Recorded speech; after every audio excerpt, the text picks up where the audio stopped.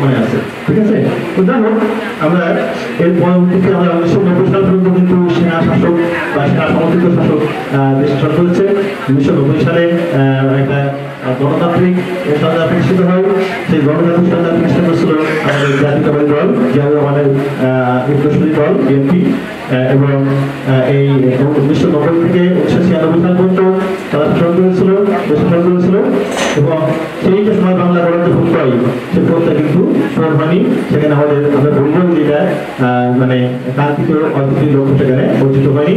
এবং একটা সাম্প্রদায়িক এবং জঙ্গিবাদ মানে হিসেবে কিন্তু অনেকটা কাজ করেছিল এই বিএনপি সরকার। আমি আমার কথাগুলো রাজনীতি হচ্ছে সেটাই বাস্তবতা। বাস্তবতা জন্য যে বাংলাদেশের আসলে দুইটা মানে মানে সমাজ দুইটা আমাদের বাঙালি জাতীয়তাবাদ আর হচ্ছে আমাদের মুক্তিযুদ্ধের বিপক্ষ না বললেও আমরা বলতে পাকিস্তানি মনস্ক হ্যাঁ একটা শ্রেণি কিন্তু বাংলাদেশে। সেটাই সেটা প্রতিনিধিত্ব করছে হচ্ছে আমাদের বিএনপি, বাংলাদেশ জাতীয়তাবাদী দল। এবং এটা কিন্তু আস্তে আস্তে মানে দুইটা শ্রেণি এখন মূলত ভাগ হয়ে গেছে এবং উনিশশো ছিয়ানব্বই সালে আবার আওয়ামী লীগ আবার একটা গণতান্ত্রিক নির্বাচনের মাধ্যমে ক্ষমতায় আসে। এবং ক্ষমতায় এসে দু হাজার এক সালে সেই ক্ষমতা ত্যাগ করে এবং দু হাজার এক সালে আবার নির্বাচনে আবার জাতীয়তাবাদী দল, বিএনপি ক্ষমতায় আসে এবং সেই যেই দ্বিতীয়বার যে যখন বিএনপি ক্ষমতায় আসলো, সেটা ছিল আগের শাসন থেকে আরও ভালো শাসন ছিল সেটা। আরও বেশি সাম্প্রদায়িক ছিল, বেশি জঙ্গিবাদের উত্থান উত্থান কামনা ছিল। এবং খুব মজার বিষয় হচ্ছে যে এই যে নব্বই সালের নির্বাচন এবং ছিয়ানব্বই সালের নির্বাচন এবং দুই হাজার এক সালের নির্বাচন হয়েছিল তত্ত্বাবধায়ক সরকারের মাধ্যমে নির্বাচন করা হচ্ছিল। এবং দেখা যায় যে উনিশশো নব্বই সালে তিন জোটের যে রূপরেখা ছিল নির্বাচন যেটা বলব আমরা, সেই নির্বাচনে জাতীয় তারা সেই তত্ত্বাবধায়ক মানচিত্র তাদেরকে তারা আবিষ্কার করার চেষ্টা করল। এবং সেখানে তারা একটা মানে লোক দেখানো মানে একটা এবং খুব মজার বিষয় হলো একটা পয়েন্ট যে যেখানে আওয়ামী লীগ সরকার শেখ হাসিনা অত্যন্ত শান্তিপূর্ণভাবে তত্ত্বাবধায়ক সরকার হাতে হওয়ার ব্যবস্থা করে বলেছিল দু হাজার এক সালে, কিন্তু দু হাজার এক সালে মানে যে নির্বাচনটা হয়েছিল এই প্ল্যান নির্বাচন হয়েছিল সেই নির্বাচনে শেখ হাসিনাকে ক্ষমতা দেওয়া হয়নি এবং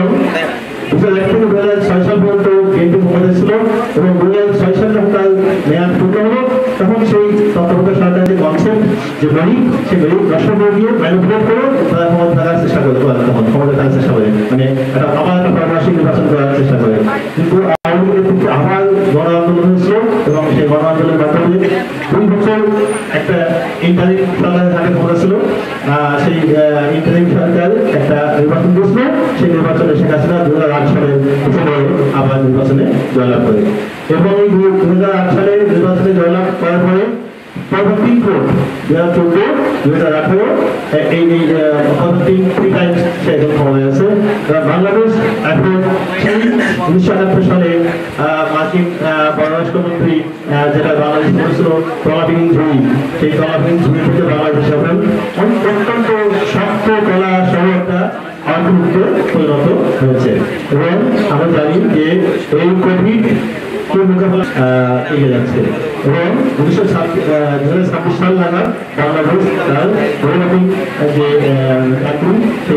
aber mein Gott, war das auch wahrscheinlich.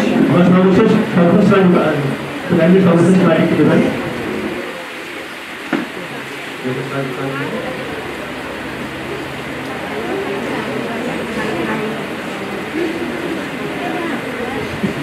Weißt du was, Leute? Machen wir das? Weißt du was, Leute?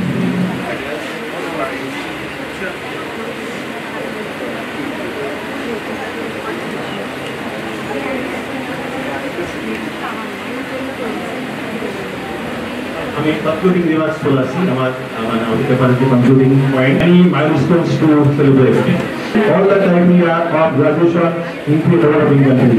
This socio-economic su- success enabled the government to move ahead with a new perspective plan 2021 to 2021 named Vision 20, 2100 Has been formulated. Now the journey is on to become a peaceful, happy, sustained and inclusive growth will require increase in productive investment, added fiscal spirit through revenue mobilization and spending efficiency. students macroeconomic policies, improve governance and skill development. Devote of equity and justice liberation are ought to be guiding principles for the pursuit of this upcoming. মানে আমাদের এই যে একটু এবং আমাদের যে আহ, মুখ্যমন্ত্রীর চেতনা আমাদের যে সবার জন্য প্রধানত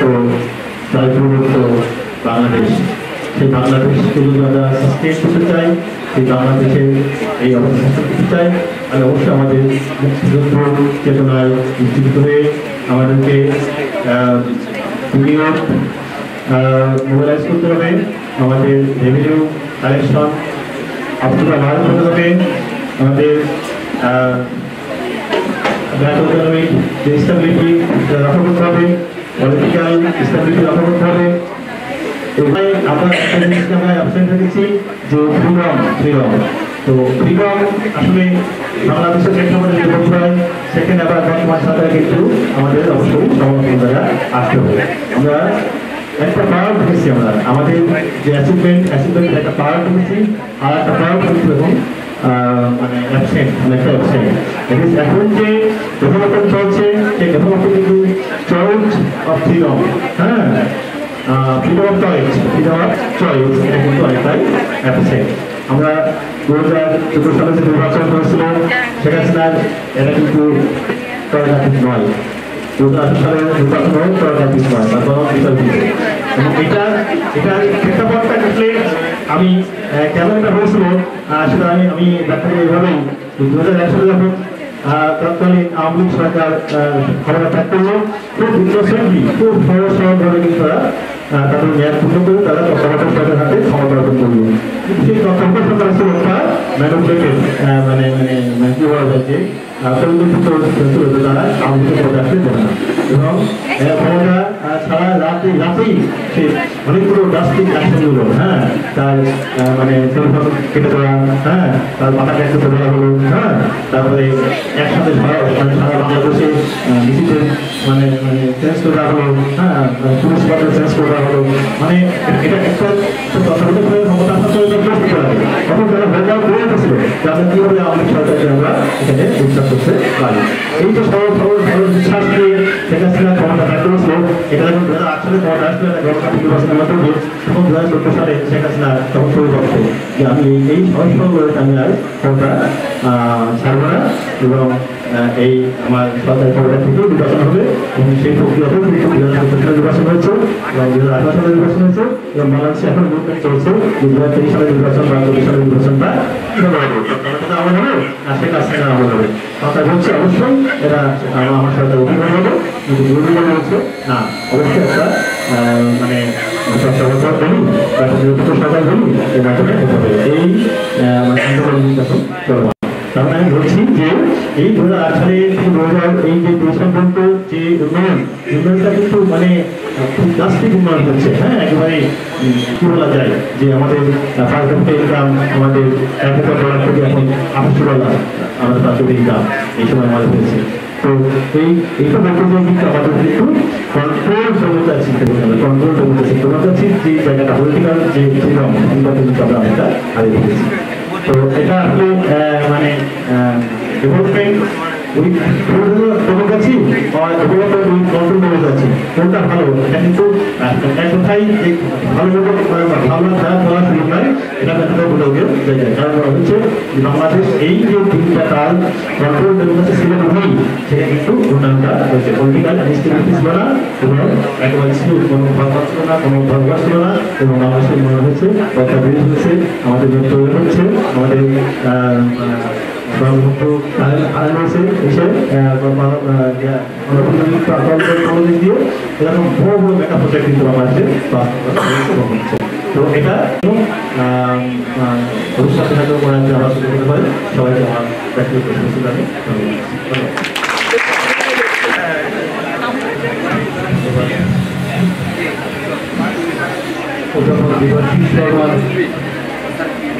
পুঙ্খানুপুঙ্খ আলোচনা বাংলাদেশ কেন্দ্র করে হেফাজতকৃত বক্তৃতা সেই আলোচনা শেষ হলো। আলোচনা পর্বের শেষে চেয়ারপারসন যিনি ছিলেন এই সেশনে তিনি এই মুহূর্তে আমাদের আলোচনা কক্ষে নেই। তার অনুপস্থিতিতে আমি অডিয়েন্সের কাছে জিজ্ঞাসা করছি, যদি আপনাদের প্রশ্ন থাকে, আপনারা করুন আপনারা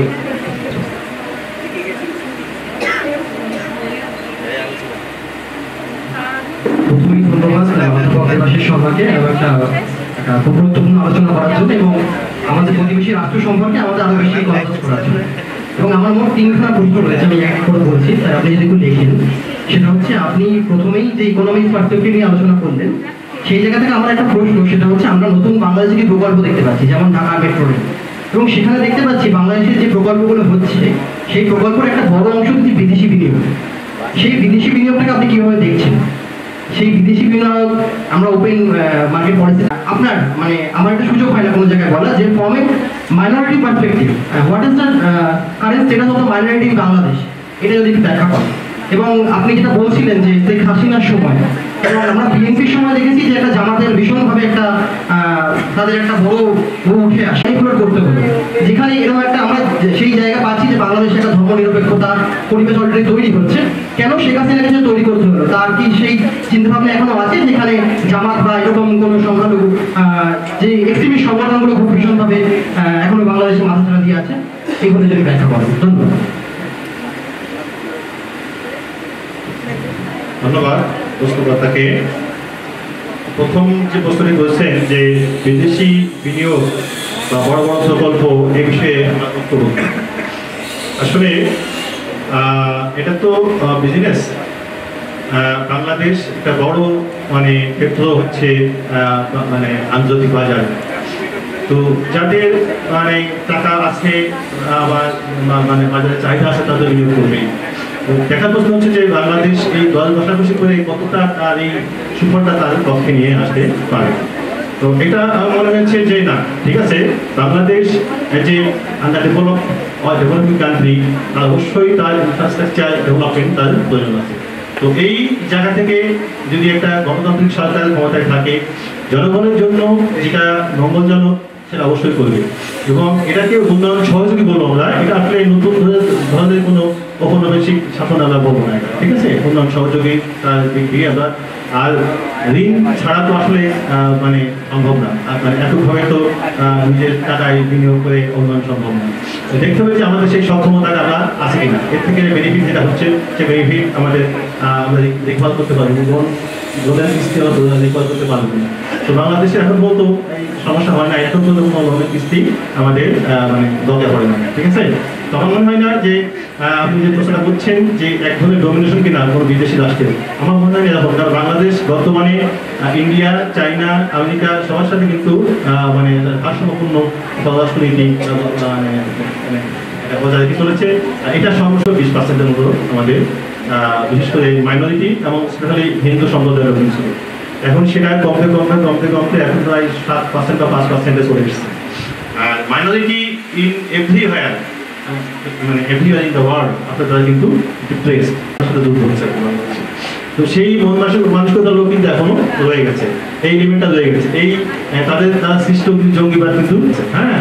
আমরা ধরেই নেওয়া হয় যে এই minority group not only Hindu all all minority group মানে ফেভার যাচ্ছে আওয়ামী সরকার ঠিক আছে? কিন্তু মানে এটা মানে স্বস্তির জায়গা না কিন্তু, আমি যেটা জায়গা- নয়, আমি তাকে বলতে পারি ঠিক আছে? আমি একটু মানে উদ্দেশ্য ইন্ডিয়াতে অবস্থান না, উদ্দেশ্য অস্ট্রেলিয়া, কানাডা আমেরিকাতে যাওয়া। আমি আমি বলি বাবা যে বাংলাদেশের সিরিজ হওয়া দরকার এটা গ্লোবাল হোক হ্যাঁ? যে ভবিষ্যতে অন্তত তোমার একটা জায়গা হ্যাঁ? তুমি সব জায়গায় করতে পারো, ঠিক আছে? বাংলাদেশে তোমার হ্যাঁ? ঠিক আছে? যাই হোক, আর ফ্রিডম অফ স্পিচের কথা বলছিলেন, তাই না? ফ্রিডম অফ স্পিচ তো আমি বললাম যে অবশ্যই not only freedom of speech freedom of everything freedom of access to political access access হ্যাঁ? তার মানে এন্টাইটেলমেন্ট অফ প্রপার্টি হ্যাঁ? সবগুলোই ফ্রিডম থাকে, যদি থাকে, তাহলে সেই ডেভেলপমেন্টটাকে আমরা আসলে সাস্টেনেবল ডেভেলপমেন্ট বলতে পারব বা মিনিংফুল ডেভেলপমেন্ট বলতে পারব। ফ্রিডম অফ স্পিচ বলি ফ্রিডম অফ মানে অ্যাক্সেস বলি অপরিটিক্যাল অ্যাক্সেস বলি, এটা কিন্তু সংযুক্ত হ্যাঁ? এটা হয়ে ঠিক আছে? এবং এই অবস্থা এখানে সেখানে চলে গেল। কিন্তু সে কাছে কতদিন থাকবে। তার যে মানে কি বলা যায়, যে নির্দেশ উপদেশ তার যে ব্যাকপাল থাকবে সেটা একটা। ঠিক আছে?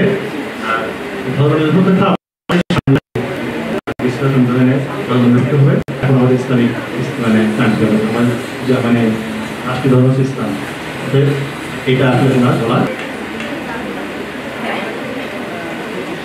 আপনি যদি কোনো প্রশ্ন করেন অডিয়েন্সের করতেছে হ্যাঁ অবশ্যই ট্রান্সক্রিপ্ট করলে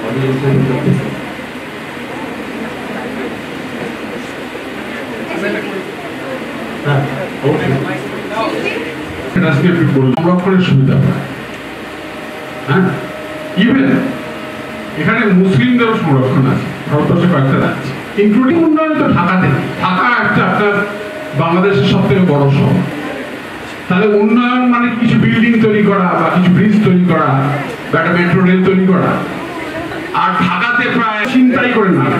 এখনও সেই জালগুলো কিন্তু রয়ে গেছে। তাহলে উন্নয়ন কি হলো? সে জাল তো প্রথম উঠে যায়নি এখন। অটোতে আপনার চিন্তাই হওয়ার সম্ভাবনা এখন আছে। এবং বেশ গোটা পৃথিবীর মধ্যে তৃতীয় বা চতুর্থ স্থানে রয়েছে অপরাধের মধ্যে। তাহলে উন্নয়নের যদি আপনি বলেন যে আপনি পরিসংখ্যান পেশ করেন ইনক্লুডিং ইউর কনক্লুডিং ভিউজ তাহলে অপরাধের নিরিখে। একটা প্রশ্ন যেটা করেছেন উত্তর আপনাদের জানা আছে। মাইনরিটি মানে সরকারি একটা গাইডেন্স থাকে হ্যাঁ প্রোটেকশন দিয়ে থাকে। ইন্ডিয়াতে যে আছে, বাংলাদেশের নাই। এবং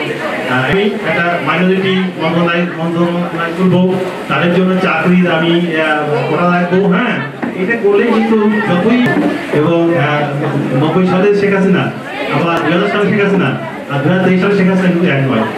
তোমার মানে ক্রমাগত কম্প্রোমাইজ করে চলে যাচ্ছে এই আহ, হ্যাঁ এটা হচ্ছে আপনাদের চিকিৎসা ব্যবস্থা প্রায় প্রতিটি বাংলাদেশি ভারতে চিকিৎসা করতে তাহলে উন্নয়নের নিরিখে আপনি কি করে বলছেন যে বাংলাদেশ আচ্ছা এই হ্যাঁ, আপনারা জানেন। হ্যাঁ। যদি একশো জন বাংলাদেশি ভারতে হ্যাঁ। নব্বই জন চিকিৎসা করা হ্যাঁ হ্যাঁ হ্যাঁ। ঠিক আছে ঠিক আছে। অ্যাকচুয়ালি মানে চিকিৎসার যে বিষয়টা, এটা তো খুবই গুরুত্বপূর্ণ বিষয় যে আমরা আমাদের যে মেডিকেল ভিসা খুব বেশি টুরিস্ট ভিসা মেডিকেল ভিসা বেশি। তো এটা আসলে হচ্ছে কি যে আমরা অনেক সময় একটু বাতিগ্রস্ত, অনেক সময় সামান্য জ্বর যাই, একটু ডাক্তার থেকে আসি আর ওই শ্রীলঙ্কা থেকে জুতো করে নিয়ে আসি হ্যাঁ? এই, আসলে কিন্তু এই, এটা প্রয়োজন নাই কিন্তু, এটা বাতিকে কারণে হয়েছে কিন্তু, ঠিক আছে? এক্ষেত্রে আমাদের দেশ লেভেল ভালো হয়েছে হ্যাঁ? আমরা একশো টাকা নিয়ে আসছি, এখানে এসে সত্তর টাকা পাচ্ছি। তারপরেও আমরা এখানে এসে ঈদের বাজার দেখে নিচ্ছি এটা হচ্ছে আমাদের দেশ অভাব। তবে আমি বলব না যে in terms of medical facilities মানে মেডিকেল মানে কলেজ মেডিকেল মানে হসপিটাল এটা কিন্তু আমাদের কম আছে, এটা বলব না কিন্তু। আমাদের বিশ্ববিদ্যালয়ের সংখ্যা কিন্তু কম না হ্যাঁ? আমাদের মেডিকেল কলেজের সংখ্যা কিন্তু কম না হ্যাঁ? ইন টার্ম যদি কম্পারেটিভ করি মানে সরকারি করি বাংলাদেশের সাথে, বিশেষ ওয়েস্ট সাথে কিন্তু কম রাখে তো যাই হোক, এটা আমি এটা ভেবে দেখব, যেটা বাদ দিয়ে কালচার কম হয়। আর কিছু কিছু বিশেষজ্ঞ চিকিৎসা ব্যবস্থা হয়তো ভালো আছে ইন্ডিয়াতে বাংলাদেশ একটা হচ্ছে দেশ, আর ইন্ডিয়া একটা দেশ। দেখেন হ্যাঁ? তার দেখেন। সেই তুলনায় কিন্তু আছে। কিন্তু আমরা যেভাবে আসি, সেই আসলে একটা। আর ট্রাফিক সিগন্যাল বলছেন যে এই যে আমাদের মানে অটোর যে আছে হ্যাঁ? এটা আসলে আসলে হচ্ছে কি? এটা আমাদের মানসিকতা মানসিকতার জন্য হ্যাঁ?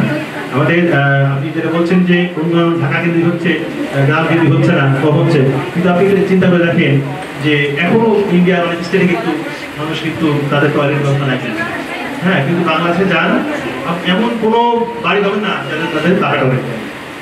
হ্যাঁ তারা খালি পায়ে হাঁটে, এমন নাই হ্যাঁ তারা বিকালে গেলে চা খাচ্ছে না, এমন তো পাওয়া যাবে।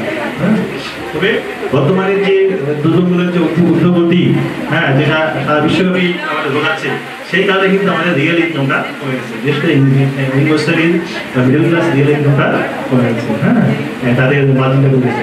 একটা সময় দেখবেন আপনাদের হয়তো অনেকেরই এখানে জানা আছে যে মানুষ না গেছে হ্যাঁ? এখন একটা লেবারের দাম আমাদের জন্য আটশো টাকা হ্যাঁ? আমাদের চালের দাম ছিল চল্লিশ টাকা পঁয়তাল্লিশ পঞ্চাশ টাকা কয়েক কেজি চাল লাগে হ্যাঁ? সেই চাল ডাল তার কিন্তু সাপ্লাস থাকতো তার সেগুলো কিন্তু থাকতো। কিন্তু বর্তমানে একটু সমস্যা হচ্ছে যেটা কিনা সেই সেই সমস্যাটা ঠিক আছে? আমি বলব যে না উন্নয়নের কিন্তু যে উন্নয়নের যে মানে ফলটা কিন্তু ছুঁয়ে ছুঁয়ে কিন্তু দিকে আসছে। হয়তো কিছু হচ্ছে ছুঁয়ে ছুঁয়ে কিন্তু দিকে সেই উন্নয়নের ফলাফলটা আসছে। ঠিক আছে? এবং ওভারঅল বাংলাদেশের মানুষ কিন্তু ভালো ছিল। হয়তো এখন একটু খারাপ আছে। হ্যাঁ, ধন্যবাদ। আমি একটা বাংলাদেশের ওই একমাত্র বোধহয় নোবেল প্রাইজ প্রাপক ডক্টর মোহাম্মদ ইউনুস। তো অর্থনৈতিক উন্নয়নের প্রশ্নে মোহাম্মদ ইউনুসের ভাবনার সঙ্গে সরকারের ভাবনার কি কোনো মতো বিরোধ আছে? এরকম আমরা কখনো কখনো খবরে দেখি আর কি। যদি বিরোধ থাকে মানে কি বিরোধ? মানে কেন? অনেকটা ডিবেটেড একটা কোশ্চেন করলাম বললেন হ্যাঁ যে ডক্টর ইউনুস আমাদের যে পল্লী ঋণ যেটা আমরা বলি হ্যাঁ? পল্লী ব্যাংক হ্যাঁ? সেই ব্যাংকের তো বক্তা, উনি চট্টগ্রাম বিশ্ববিদ্যালয়ের ইকোনমিক্স অধ্যাপক ছিলেন। তারপরে উনি একটা প্রাইভেট প্রকল্প করেন হ্যাঁ? তার ইউনিভার্সিটির পাশেই। সেই থেকে তার এই উনিশশো সাতাত্তর সালের দিকে ঘটনা হ্যাঁ? তারপরে থেকে ওনার যে মডেল এই মডেলটা কিন্তু মানে বাংলাদেশ ছাপিয়ে সারা বিশ্বে কিন্তু এটা সমাদৃত হয়েছে। ঠিক আছে?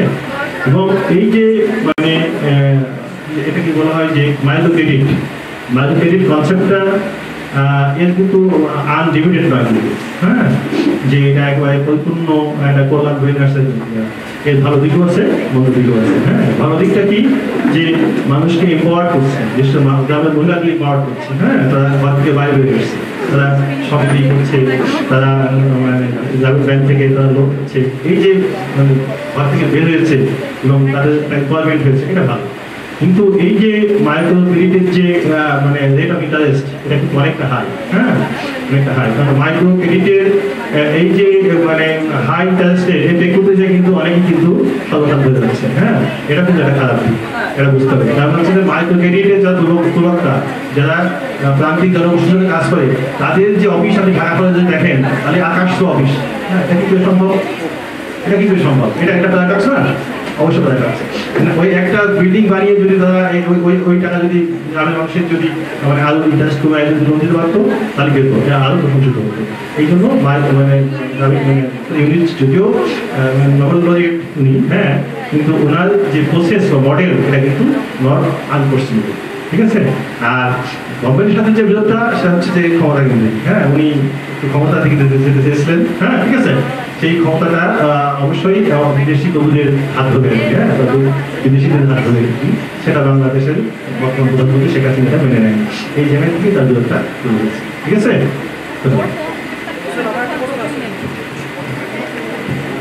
যদিও খুব সময় সময় নেই হ্যাঁ, তবে একটা কোশ্চেন করছি বাংলাদেশে এবং পশ্চিমবঙ্গে মোটামুটি আবহাওয়া প্রায় কাছাকাছি এবং মাটির দিক দেখা যায় উন্নত কিন্তু বাংলাদেশের এত কৃষি নির্ভরতা কমে যাচ্ছে কেন? এবং তারা বড় নির্ভরশীল দেশের দিকে থাকছে সেখান থেকে মাল সাপ্লাই না হলে তাদের ওখানে কমে যাচ্ছে। তাহলে কৃষি কৃষি নির্ভরতা কি সরকার মানে স্বনির্ভরশীলতা কৃষিতে হচ্ছে না কেন? এটা একটা, এবং চাষবাস কি ওখানকার ছেলেরা বা বাংলাদেশের কৃষি বিদ্যালয় বা এইসব বিষয়ে কি বলব ডেভেলপ হচ্ছে না? আর আরেকটা জিনিস আমি দেখতে পাচ্ছি যে ওখানে বাংলাদেশের যে মানুষজনের ক্রয় ক্ষমতার জন্য, তারা পয়সা কোথা থেকে পাচ্ছে মানে বিভিন্ন রকম ভাবে যত দামি হোক, তারা কিনে ফেলছে। এই পয়সা কোথা থেকে আসছে?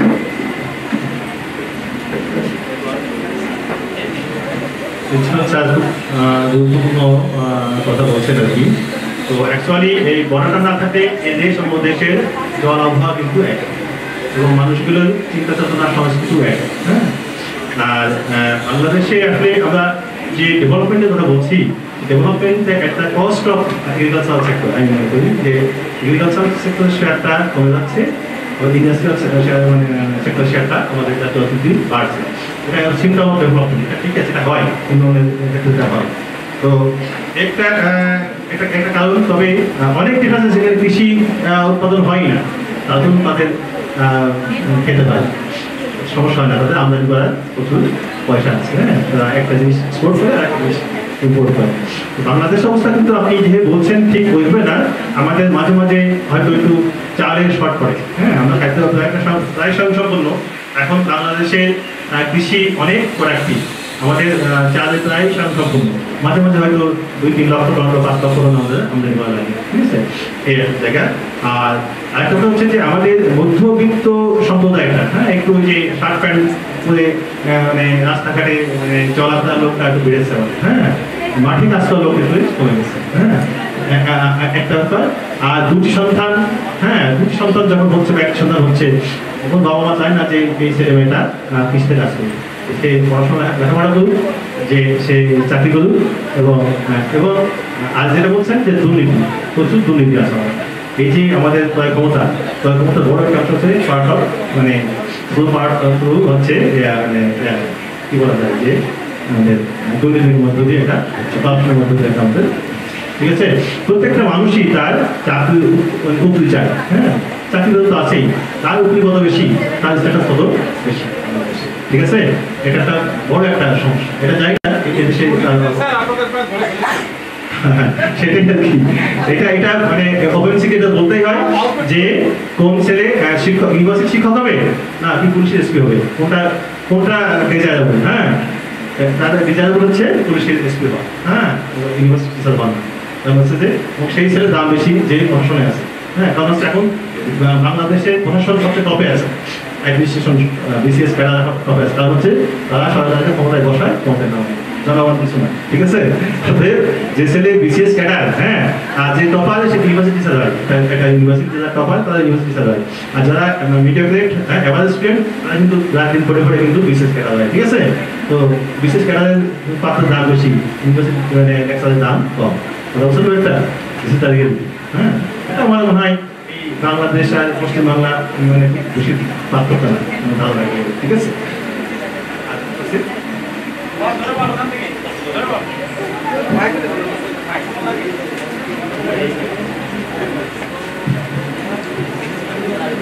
স্যার, নমস্কার।